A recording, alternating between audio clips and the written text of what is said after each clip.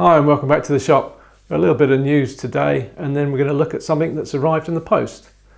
So the news is if you saw my recent video on making a croquet mallet, well I delivered it to the client and we tested it out on the, uh, the croquet pitch or whatever they call them and it's the first time I've ever done that and it was great fun knocking the balls about and it worked really well and she was really pleased with it. Well the bad news is in um, practicing with it later in the week she decided to try a shot uh, where she was working over the top of one of these steel hoops and for some reason or other she smashed the stem of the mallet on the top of the steel hoop and uh, she was surprised I wasn't surprised but the carbon fibre didn't like being smashed into a piece of steel and this was the result. So I must say that's the shortest lived thing I've ever made. Anyway, moving on from that, I've had a parcel in the post. And I'm very lucky in that um, friends of the channel sometimes send me stuff. And uh, I know from the label on this who it's come from. So I'm going to open it up in front of you because I've got a, a sneaky feeling what it's going to be. Now this made its way all the way from Canada. And I must admit I have already read the, the letter that came with it So this is the first time I've actually unpacked what's inside. And wow, that's not what I was expecting. Look at that. That must be, I think, a Japanese style toolbox. Wow, it's got the maker's name on it and everything. And then that is the, the channel's friend, Will. Wow, thank you, Will. Fabulous. Sliding dovetail latch on there. Lovely figure in this wood as well. Oh, look how well that opens up. Lovely. And what have we got inside? Oh, now I recognise something here which tells me what it is. Uh, you probably don't. So let's unpack these pieces and see what we find. Gosh, how well is this put together? I think I might actually need a knife.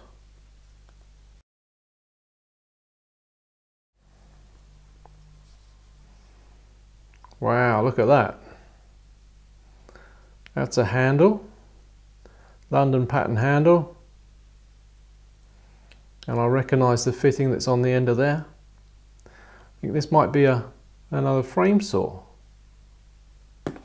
But all fitting into this tiny little box. How interesting.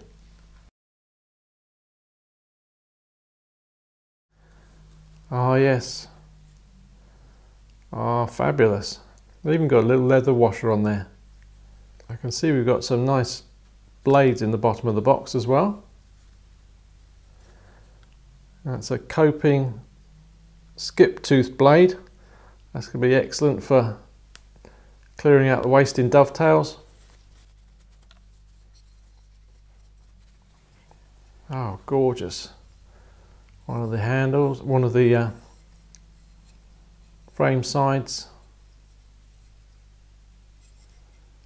Lovely.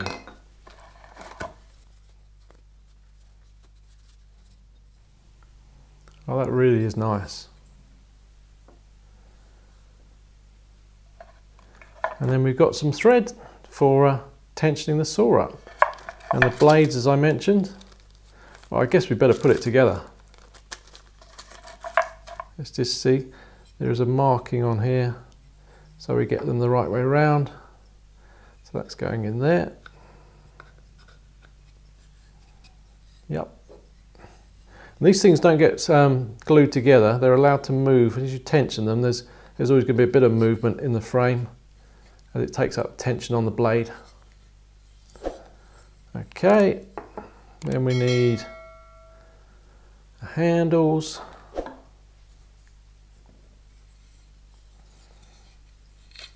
I think it's universal for the handles either either end.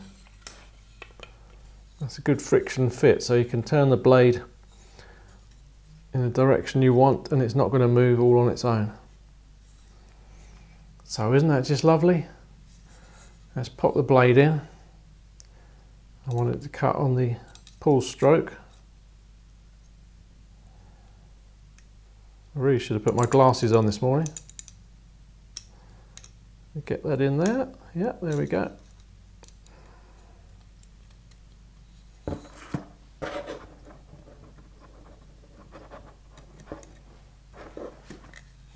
Now Will says to pop this in the vise at this stage to uh, thread it, but I want you to be able to see what I'm doing and I think it's easiest if I just do it like this.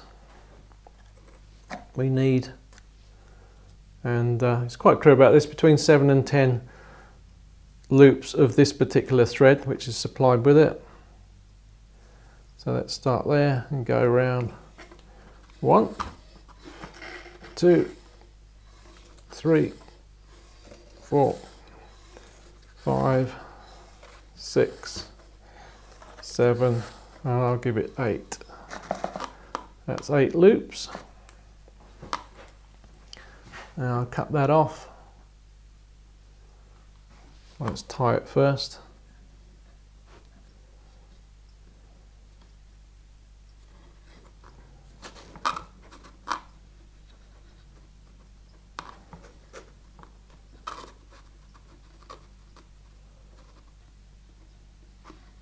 There we go.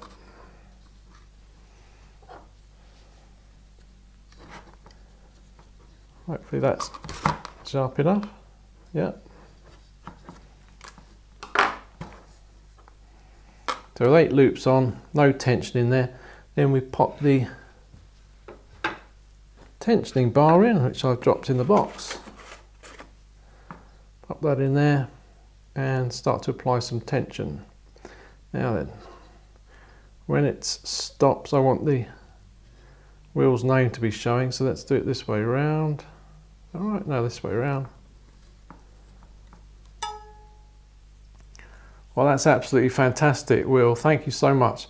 I'm going to uh, I'll give that an hour just to let some of that tension ease itself in the in the thread and I'll tighten it up and I'll try it out on some dovetails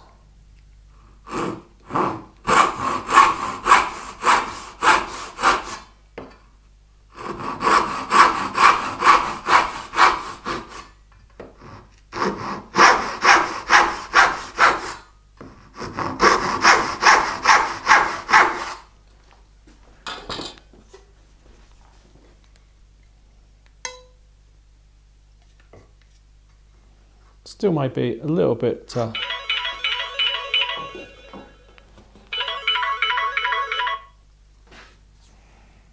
well as ever in demand let's uh, let's continue.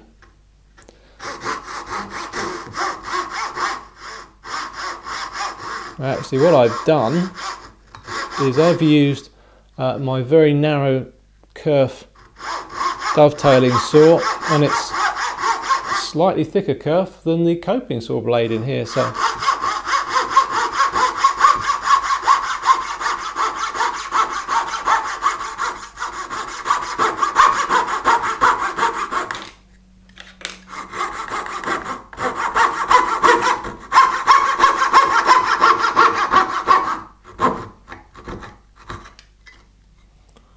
That's a lesson learned. I should be using my other dovetailing saw. In fact, let's do that just get a slightly bigger kerf in there.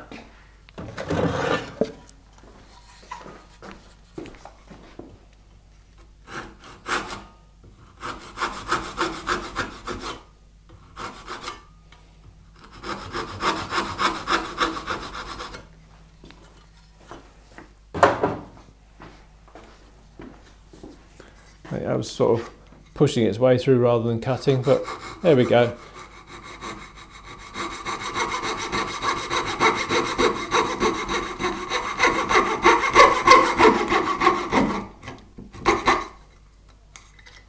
Super. That's really speeding things up. Let's try it in something else.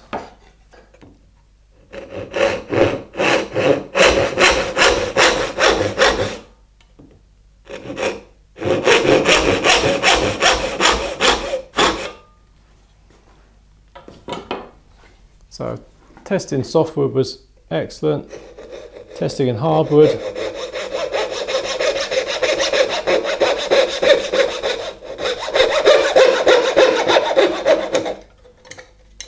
Equally as good. Superb. I'm, I can't tell you how over the, how chuffed I am with that.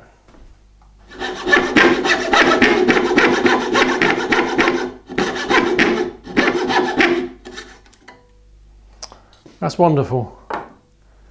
So Will, I'm very chuffed with this. Thank you very much. Uh, you wanted to know what I thought of it. Well, so far, excellent.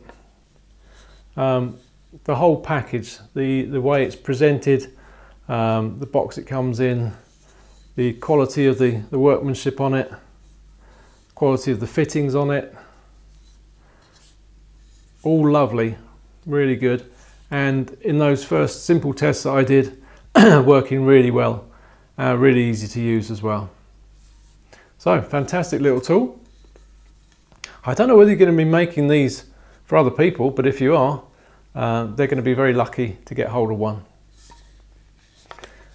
uh, so the news this week is uh, Janet's mallet had an accident um, I've received a lovely saw from Will and the other thing is, um, I've now got a publishing deal for the book I've been writing.